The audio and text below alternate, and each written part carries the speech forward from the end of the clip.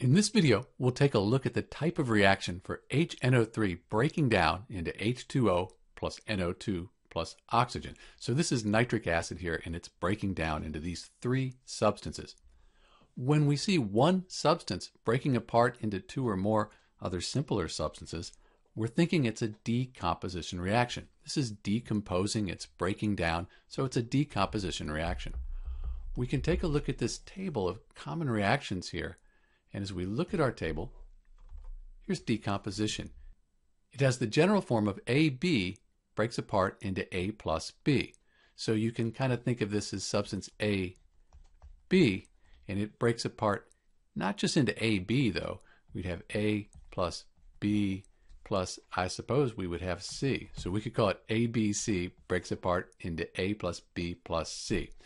Either way, if you have one substance breaking apart into two or more, it's a decomposition reaction.